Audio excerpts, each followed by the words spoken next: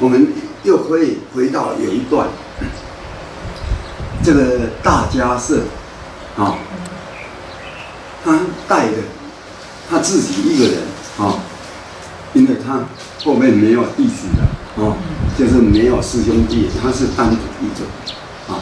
那十大弟子就十队嘛，就分队啊。那佛陀里面有很多弟子哦，都会挑选。看哪一条街，他们化缘过了比较有钱，就会往那个有钱的地方跑。佛陀都不讲，他都知道，因为这个不能讲的啊。佛陀的话叫做悟，自己要悟，自己体悟出来了，才会真正去做。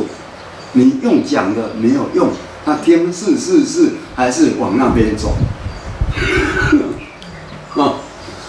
啊，在在以后的经，里面都会看到，哦，佛陀有一些弟子都带着到有钱的这个街上去化缘的，啊，所以当时这个大家社就等于大弟子了，自己一个人就往最穷的地方走，结果这些师兄弟有的很奇怪，就就从后面就跟着他去。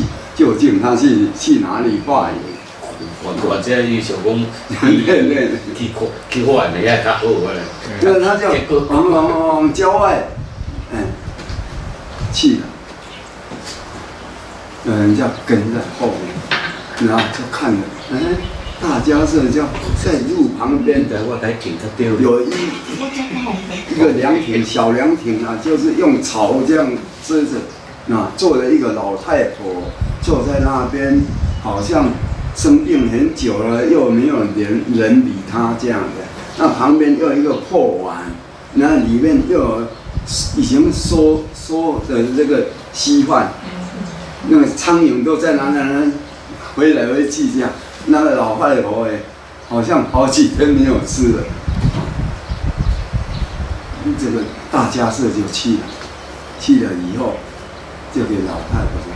我，这个老太婆又起来，又没精神了。他说：“你这个这些稀饭可以供养给我吃吗？”他就给他说，他旁边已经一两天已经缩掉了那个稀饭了，他自己都不吃不下了。然后他向他化缘这个东西，哦，这个阿婆。就是说这个不可以吃啊，这个放了好几天了，怎么样子？啊说没关系，啊，你就你如果用不到了，你就供养给我，啊，这样子。那那个阿婆，他就拿说这个不要吃了，这个已经坏掉，嗯，大家是拿起来以后就把它丢掉，啊，这样好，就谢谢阿婆。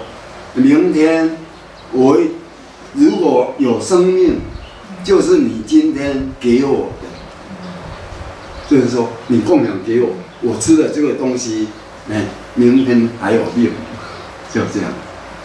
哦，阿婆很感动，就流泪了，就哭了。啊，哭了以后，他想不到说为什么他自己都不敢吃，然后这个出家人就。这样就把它喝掉。其实这个就是让大家是知道这个阿婆善良的，然后发愿要供养佛陀，因为他知道佛陀在修行嘛，要供养，但是自己都没有钱，怎么去供养啊？所以才会说离离开佛陀很近的地方。啊，自己没东西吃，还要人家给他，然后已经等于身体不好了，啊，生病，然后吃不下的东西，那大家社就来向他化缘，啊，你看他喝了以后还感谢他，啊，明天的生命就是你给我，这样子，啊，阿婆就感动了，啊，你看那个感动。他整个宴就，他的华喜产生出来的哭，啊，然后那大家社又给他讲，你还有什么愿还没了？他说他很久以前就想要供养佛，哦，但是就没有，因为本身就一一文不值嘛，没有东西嘛，啊，那大家是就说有啊，你找找看，你用不到的，你用不到的，你就供供养给佛，我帮你带去，这样，找没有，因为身上没有东西啊。哦，那衣有一件，又不能脱掉，哈 哈对不对？哦，这样。他我我剩下一一套衣服，也不能拖起来供。他说有啊，还有还有，你用不上的。结果他看，哎，就在这个衣袖哈，有里面的还有一个白布，哦，用不上。他说：“你那个白布有没有用啊？没有用，你就撕下来，然后就送给佛陀。然后撕下来，撕下来以后，我说只有这一块白布哎，不值钱。他说没关系，只要你的心意，你要供养佛，佛一定很高兴。哎呀，所以他就帮他说要转交给。”佛陀，哦，那个那个阿婆就非常欢喜充满，然后非常感恩这样子，啊，那就，就这样就走，嗯，这个是大家社来度这个阿婆，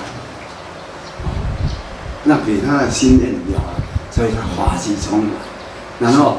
大家是就把这一块白这个布呢，就带回去，那供养给佛陀。啊，佛陀当下就讲了，啊，我今天得到了一个大布施，大的布施。哎，结果他们那些弟子听到佛陀说他接受到了大布施，哦，大家就很惊奇，看有什么宝贝。布施，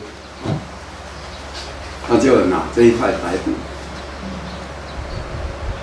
哦，他说：“这个你们不要看这个白布不值钱，它是比任何东西更值钱，因为是真的供养的心，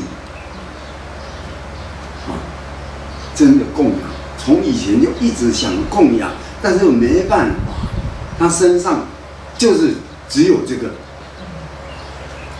他又愿意供养，啊，你看，从内心真的供养的心，就是大布施、大供养，这样，啊，他就规定了，以后你们的袈裟就用这个人家供养的布条，啊。剪成二十八八二十八块，然后把它红起来，